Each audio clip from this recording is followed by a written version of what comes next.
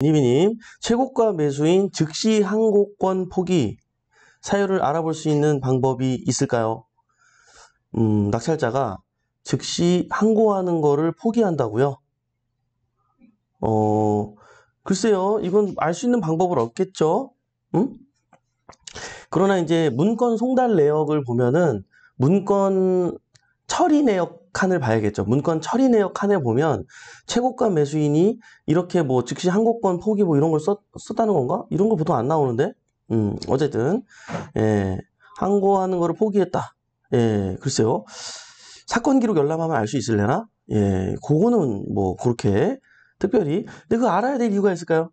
그죠? 어쨌든 네. 자, 뚜이님, 어, 하루 전날 신권 검색은 어떻게 하면 될까요? 아, 그게 이제 하루 전날? 잠깐만요. 하루 전날, 아, 오늘 신권 말고 어저께 신권 얘기하는 거죠? 그러면은 어떻게 하면 되냐면 그 입찰 날짜 설정을 하시면 돼요. 응? 경매 사건을 보면은 입찰 날짜 설정하면 그날 입찰하는 물건만 뜨거든요. 그죠? 자, 그러면 봐봐요. 어, 어저께 걸 만약에 찾으려고 그러면 어저께가 금요일이었잖아요. 그러면 언제 입찰 날짜 거를 검색하면 될까요? 다 다음 주. 물건이 신건이 올라오고 첫 번째 입찰 날짜가 언제예요? 2주 후에 입찰 날짜가 잡히니까 다 다음 주 금요일로 설정을 하면 어저께 거의 신건이 어떤 물건이었는지 알 수가 있겠죠. 이해되시나요? 예, 그렇게 확인하시면 되겠습니다. 야, 야, 요렇게, 요런 것도 궁금하구나. 그죠? 그럴 수 있죠. 뚜이님. 자, 그리고 정영원님, 안녕하세요. 토지를 지분으로 낙찰받을 시 농취증이랑 실제 농사를 어찌 하는지 궁금합니다. 다른 공유자들도 있는데, 아, 농취증 얘기하는 거죠? 이제 그 아무리 지분이어도 그 전답 과수원 같은 물건을 낙찰 받으려면 반드시 법원에서는 농취증을 제출하라고 합니다. 심지어 묘지가 있는 곳인데도 어, 농취증을 제출하라고 하는 경우도 있어요. 네, 그래서 여러분들이 반드시 사전에 면사무소에 신청을 해가지고 농취증이 나오면은 입찰 들어가야지 낙찰받고 준비하면, 위험합니다, 여러분. 안 나올 수 있는 상황도 벌일 수가 있기 때문에 자 그러면 실제 농사를 어찌 하는지 궁금합니다. 실제 농사를 못 짓죠, 사실은. 응? 묘지가 있고 그러면 여러분 솔직히 대부분 농사 지려고 낙찰받는 거예요? 그건 아니잖아요, 그죠? 그죠? 그러나 농취증을 발급받기 위해서는 여러분들이 진짜로 어, 농자 아, 농 뭐야 농사를 지을 거라는 계획을 제출해야지만이 나온단 말이에요. 응? 그러면은 간혹 가다간 이렇게 물어보기도 합니다. 실제 있었던 일인데요. 담당자님이 뭐라 그래요? 아, 저기 묘지도 있는데 어떻게 농사를 진단 말이에요? 이렇게 얘기를 한단 말이에요. 네. 여러분들 뭐라 그래요? 그러게요. 어떻게 될까요? 어렵지 않을까요? 그래도 농지증이 있어야지 낙찰받지 이렇게 얘기하면 안 되고 뭐라 그래요? 네? 자, 아, 그 묘지는요. 어, 묘지 주인하고 협상을 잘 해가지고 어, 이장하게끔 저희가 유도해가지고 그 이후에 농사를 지을 계획입니다. 이렇게 여러분들 얘기를 해줘야 농지증이 나오지 안 그러면 농지증이 안 나오겠죠. 예, 그렇게 처리를 해야 되는 부분이 있다는 거 어, 실전 팁 꼭 알고 가시기 바랄게요. 자, 또 넘어가 볼까요? 정영원님 다음에 어, 잘 될지어다님, 토지가 나라 공유자예요. 국가, 국, 나라가 공유자예요. 어, 국가도 거기 이제, 어, 일부분 이제 지분을 갖고 있는 모양이에요. 그죠? 이런 경우 가끔 있어요. 어, 국가 매도 가능할 때 어떻게 하면 되나요? 예? 아, 공유자가 이제, 어, 나라인데, 국가인데, 국가한테 이걸 매도하고 싶다고요? 그건, 글쎄, 그건 모르겠어요. 그거는 입찰 들어가기 전에 그게 이제 어느 소유자인지도 등기부에 나와요. 뭐 서울시면 서울시, 뭐 국방부면 국방부, 뭐 어디 구청이면 군, 이게 나와요 거기에 등기에. 그러면 그곳에 전화해가지고 이거 지분으로 경매가 나와서 그런데 제가 낙찰 받으면은 대놓고 그냥 물어보세요. 예. 근데 잘 매도, 아, 그거를 국가가 매입할 가능성은 좀 적어 보이나 상황에 따라서는 몰라요. 뭐 탄소 중립이다 보다 해가지고 지금 국가 입장에서는, 어, 얼마 전부터 국유림 근처에 있는 산들은 매입하려고 노력하고 있잖아요. 아시죠, 여러분? 예. 그러니까 그런 차원에서라도, 어, 살지도 모르겠는데, 음, 글쎄요. 일반적으로는 살 가망성이 좀 적어요. 네, 그러니까 사전에 꼭 알아보고 준비하시기 바랍니다. 자, 박철현님, 네, 보증금 불분명이라는 어, 보증금이 불분명이라는 잘 모르겠다는 전입자가 있는데 은행에 전화해 보니까 무상 임대차 있는지는 알려줄 수 없다네요. 더 조사해야 되는 부분이 어떻게 될까요? 자, 그러면 은행에서는 알려주지 않았고 보증금이 반드시 불분명이라고 써있어요. 자기들도 모르겠다라고 했잖아요. 그죠? 그럼 이렇게 얘기하는 거 보니까 이 전입한 사람이 대항력을 갖췄기 때문에 질문하신 것 같은데요. 이런 경우는 어떻게 해야 돼요? 반드시 알아내야 됩니다. 응? 예, 이 보증금 어, 불분명이니까 임차인 만나가지고 물어봐야겠죠. 정확하게. 근데 사실 은행 직원은 알고 있거든요. 예. 그 하나은행이면 여러분 친구 중에 하나은행 있잖아요. 그쵸? 그 다 이게 뭐 이게 어, 예? 뭔 말인지 알죠? 예? 예, 그죠? 자, 보랏빛 미소님, 멘토님, 주식의 주자, 주자도 모르던 제가 주식 투자로, 아, 내가 이제 이, 이 얘기 해줄게요. 그, 하- 지금 방금 내가 하나은행 얘기했잖아요. 그 수업 시간에 얘기한 적 있는데, 어떤, 어떤 여자분이, 어? 그럼 하나은행 다니는 남- 직원분, 남자친구를 사귀어야겠네요. 또 뭐였더라? 어, 국민건강보험공단이었어. 이제 국민건강보험공단 공단 담당자한테 물어봐서 알아내면 돼요. 안 알려주면 어떡해요? 그 옆에 있는 또 그 젊은 회원님이, 어? 그럼 국민건강보험공단 직원인 남자를 사귀면 되겠네요. 여러분, 아, 그러지 마요. 여러분, 왜 그래? 그러지 마요. 자, 자, 어디까지 했어요? 예, 보랏빛 미소님, 멘토님, 주식의 주자도 모르는 제가 주식 투자로 앞이 캄캄한 시간에 머물러 있어요. 이럴 때 경매끈을 놓지 않고 멘탈 잡으며 제가 할 수 있는 좋은 방법 뭐가 있을까요? 네, 잊어버리세요. 아주 좋은 방법이죠, 여러분. 주식의 주자도 모르고 했으니까 어, 좋은 공부했다고 치고요. 잊어버려야 돼. 그 돈은 나한테 원래 없었던 돈이다. 일단 왜냐면 내 마음이 평온하고 행복해야 뭔가 내가 다른 거를 하거나 움직일 때에도 그 밝은 기운과 긍정의 마음이 회원, 이 보랏빛 미소님을 훨씬 더 도울 거예요. 그래서 안 될 일도 잘 되게 자꾸 그 마음이 만들어주고 그 마음이 많은 걸 끌어당겨서 더 좋은 원인으로 효과로 나오게 될 겁니다. 그죠? 자, 일단 이거 뭐 어쩔 수 없잖아. 그죠? 예. 주식, 주식 투자로 앞이 캄캄한 시간에 머물러 있나요? 예, 잊어버리세요. 그 돈은 원래 내 게 아니었다. 생각하시고 그냥 남은 돈으로 남은 돈으로 그냥 지금 내가 내 자금에서 할 수 있는 것을 하나하나 해 나가시면 될 것 같아요. 보라뱀 미소님 화이팅 하시고 네, 아 바타구탄 이네 비니비님 송달 내역에 나와 있어요. 그쵸? 자, 제 경매된 건, 어, 제 경매된 건이라 문의드렸어요. 음, 어, 아, 그래요? 그거는 일단은 뭐 그 입찰 들어온 사람을 알아볼 방법은 없잖아요. 예. 알아볼 방법은 그거죠. 어, 사건 기록 열람을 해야겠죠.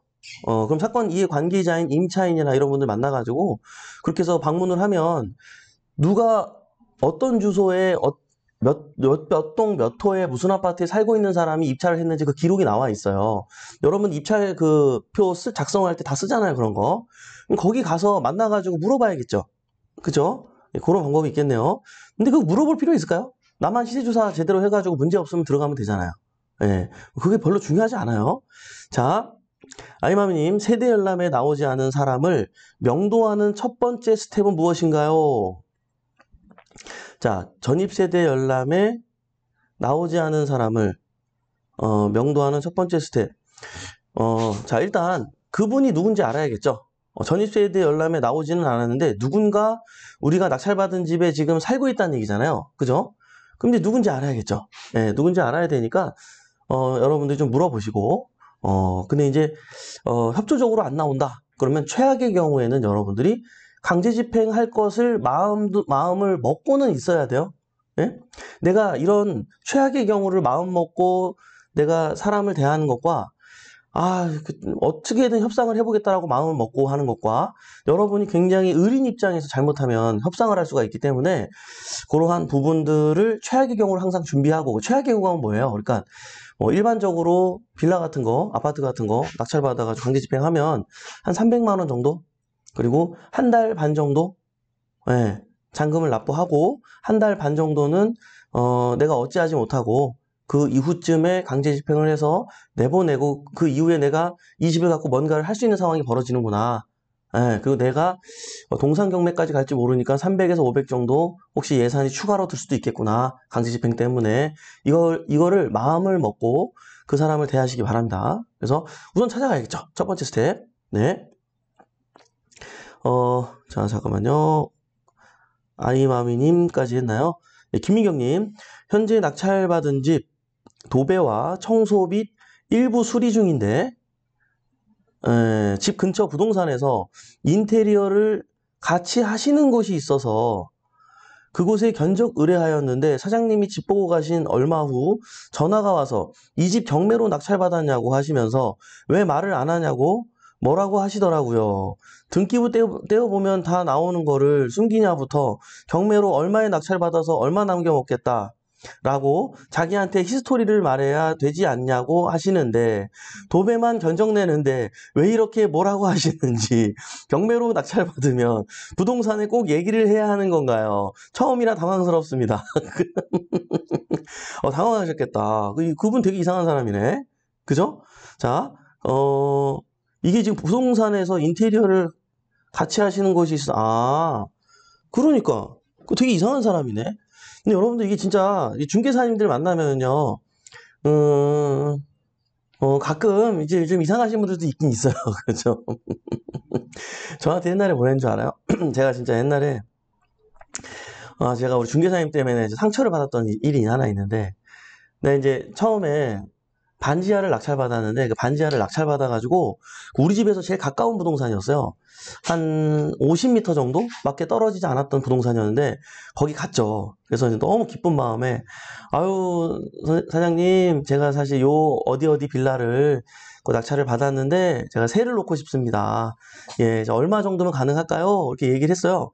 근데 중개사님 이제 물어보죠 당연히 뭐, 아, 그거요? 그거 얼마에 받았어요? 그러더라고요. 아주머니셨어요. 예, 7천 얼마에 받았어요. 그랬더니, 에? 왜 이렇게 비싸게 받았어요? 그 정도 안 하는데? 예? 막 그러는 거예요. 이거 뭐 어떻게 해야 되나? 뭐막 그러는 거예요. 나 나 처음인데, 그첫 물건인데 내가. 그 아무것도 모르는 제 입장에서, 그냥 엄청 놀랬죠. 내가 시세조사 잘못했구나. 큰일 났구나, 이거. 어떡하지? 너무 고민이 되는 거예요. 야, 그래서 뭐 어떻게 일단 놓긴 놔야지. 그럼 얼마 정도에 놓을 수 있나요? 뭐 5천 정도 뭐 전세 놓죠, 뭐. 예. 그러는 거예요. 아, 그거밖에 안 돼요? 아, 그러면 매도는 얼마에 할 수 있어요? 그랬더니, 얼마였더라? 뭐 한 6,500? 뭐 이런 식으로 얘기를 하는 거예요. 그래서 내가, 아, 그래요? 잠깐만 일단 생각 좀 해볼게요. 그러고 제가 원래 그 동네 부동산을 좀 더 돌아다니면서 내놓으려 그랬었는데, 마음이 너무 안 좋은 거예요. 내가 조사를 잘못했구나. 이건 잘못 받았구나. 그래서 집에 가가지고, 술 한잔 먹고, 아, 이거 옛날에 가족들이 하지 말라고 경매 하지 말라고 말렸는데 내가 그때 하지 말았어야 되는데 이거 완전히 생비 생비 진짜 500만 원밖에 없어 나머지 다 빚인데 내가 이거 그 왜 그랬을까 엄청 내가 우울했어요. 근데 이제 정신 바짝 차렸죠. 뭐 어떻게 해결은 해야지 이거 뭐 어떻게 가만히 있을 수는 없잖아요.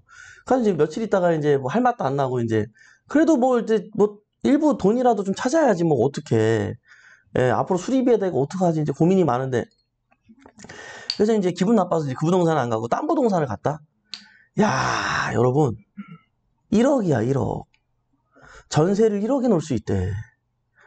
야, 그 아줌마가 나한테 거짓말 한 거예요.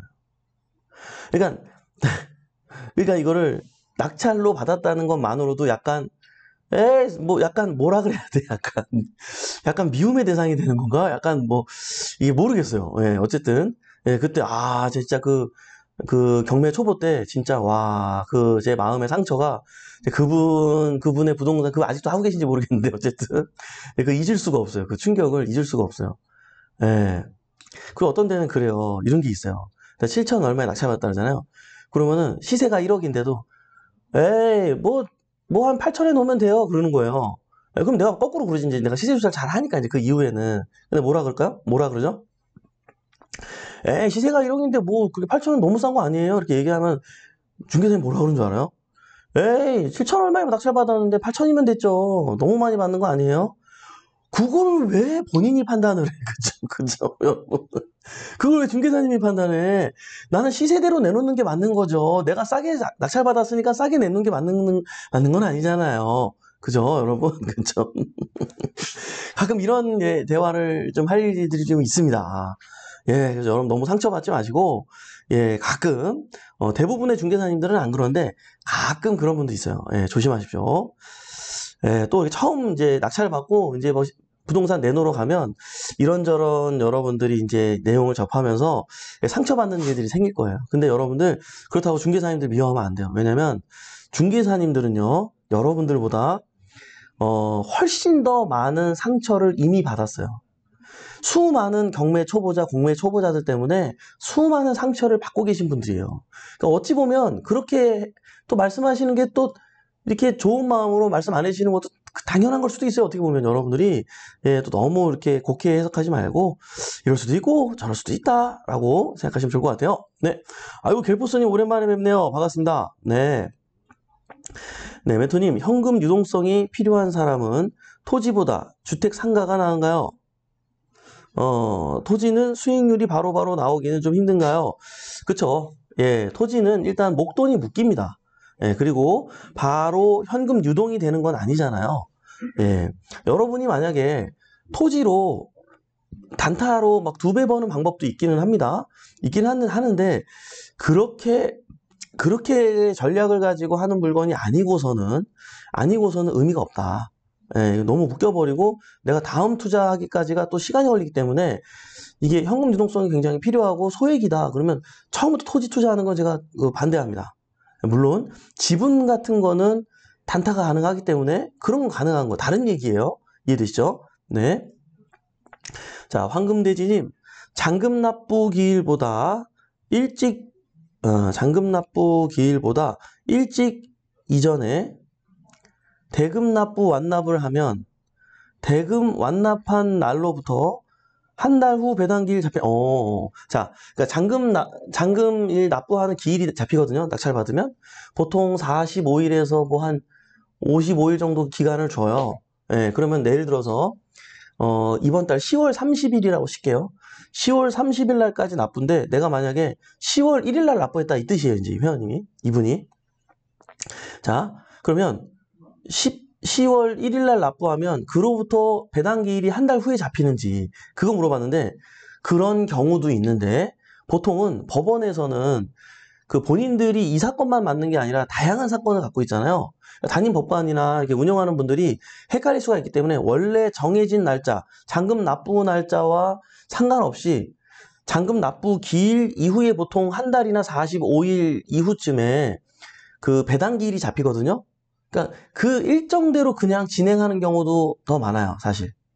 예, 진행하는 경우가 더 많고요. 어, 이따금씩 그냥 자금 납부하면 얼른 또 처리해주는 경우도 있고. 요건 단임 뭐 어떤 규정이 있는 건 아니에요. 단임 법관 마음이기 때문에 그건 뭐 어쩔 수 없습니다. 이렇게 되면 이렇게 되는 거고 저렇게 되면 저렇게 되는 거고. 네. 어, 그 다음에 아롱맘, 아롱맘. 오, 처음 듣는 아이들이 굉장히 많네요. 반갑습니다, 여러분. 자주 뵐게요. 자, 경기도 후순위 소액 월, 월세 임차인입니다. 에? 후순이야? 근데 소액 임차인이에요? 어, 그럼 다행이에요. 살고 있는 아파트가 경매에 낙찰되면 살고 있는 아파트가 경매에 낙찰되면 제가 낙찰자보다 먼저 낙찰가에게 살 수 있는 권리가 있다고 들었습니다. 사실인지 여부를 알고 싶습니다. 아, 자 봐봐요. 이거는 모두에게 해당되는 게 아니에요. 이 이건 모두에게 해당되는 게 아니라 전세 사기, 그러니까 작년에 전세 사기가 이제 굉장히 언론에서도 이제 많이 다루면서 이슈가 많이 됐죠, 사실은. 예, 그래서 그때 생긴 거예요. 예. 그러니까, 아, 억울한 임차인이 우선 매수할 수 있는 우선 매수권을 부여하게 됐어요. 근데 그 우선 매수권을 행사하기 위해서는 이게 전세 사기인 게 판결이 나야 돼요. 그러니까 여러분들이 이건 전세 사기라는 것을 증명해내야 돼요. 아롱맘님이 그걸 노력해야 됩니다. 이해되시나요? 음, 그래야지 그런 우선권을 갖는 거지. 어, 그런 걸 안 하면은 우선권 없어요. 이해되시나요? 예. 자, 정영호님, 어, 정영호님 오늘 질문 많네요. 어저께 남편분 상, 상담 하셔, 왔다 가셨어요? 알고 계신가요? 당연히 알고 계시겠지, 그죠? 정영훈. 자, 선순위, 선순위 임차인이 있는 어, 선순위 임차인이 있는 상가나 공장은 기존 계약을 인수하는데 계약서상 어, 기간이 이미 만료되어 있어도 기존 계약 조건 인수인가요? 네, 그쵸? 왜냐면 일단 선순위라 그랬잖아요. 후순위면은 무시해도 되지만 선순위, 대항력을 갖추고 있는 사람이기 때문에 이분이 만약에 어, 만료가 됐더라도 상가 같은 경우는 우리가 상가 임대차 보호법에 의해서 그 사람이 그곳에서 몇 년 동안 장사를 영위할 수 있죠? 10년 동안 할 수 있기 때문에 본인이 계속 하겠다 그러면 우리 입장에서는 하게 해줘야 돼요. 예. 근데 공장은 아닙니다. 자, 제가 얘기한 건 상가예요. 여러분들이 요거 많이 헷갈리는데 상가하고 공장하고 달라요. 공장은 공장도 근생이긴 해요. 근생으로 건축물 대장에 분류가 돼 있긴 하지만 그게 상가 임대차 보호법을 적용받기 위해서는 공장만 있는 게 아니라 거기서 판매 행위도 이루어지고 있어야 상가 임대차 보호법의 보호를 받아요. 근데 공장은 대부분 제조만 하고 물품을 드리고 뭐 내보내고 이런 것들을 하지 판매 행위는 이루어지지가 않아요. 그래서 상가 임대차 보호법의 보호를 못 받기 때문에 여러분들이 10년을 지킬 필요가 없습니다. 바꿔서 또 설명을 해주자면 매년 계약할 때마다 5%씩만 올려야 되는 이런 제재가 있지 않아요, 공장은. 네. 상가만 그런 거예요. 이해되시죠? 자, 근데 공장 중에 공장 중에 판매 행위가 이루어지는 것은 상가로 분류를 또 인정하기 때문에 상가 임대차 보호법의 보호를 받습니다. 이런 차이점이 있다는 걸 이해하시기 바래요. 자, 김아이리스님 지방에 있는 창고 낙찰받아 단기 매도하려면 어디에 창고 매물 광고해야 하나요? 지방이라 수요가 적을 것 같아서요. 아, 뭐 지방에 있는 거 창고 낙찰받는 것도 나쁘진 않아요.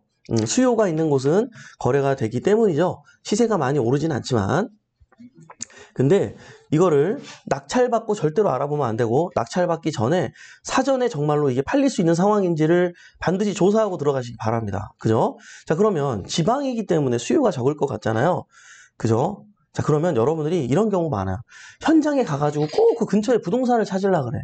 그러면 그 허허벌판에 눈 받치고 산밖에 없는데 부동산이 있을까요? 없어요. 그냥 그 지역 일대 10km를 달려가든 30km를 달려가든 시내나 읍내가 있을 거 아니에요. 거기까지는 가야지 중개 중 그 중개업소가 이제 몰려 있단 말이에요. 그 중개업소는 멀리 떨어져 있어도 그곳의 실정과 상황을 다 알고 있습니다.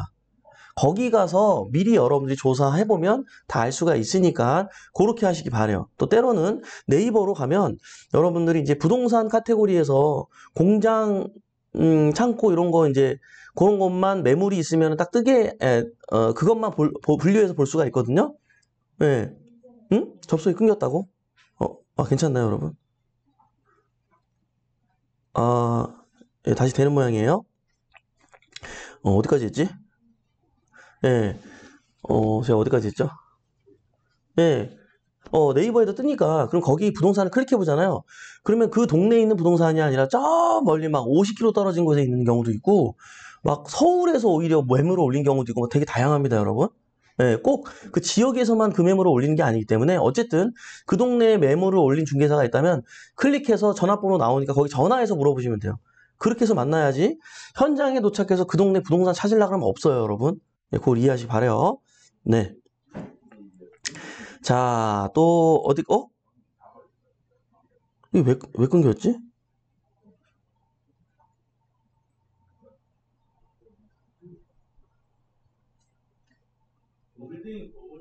아, 예, 예, 형님. 어? 이- 이게 꺼져버렸네, 그냥.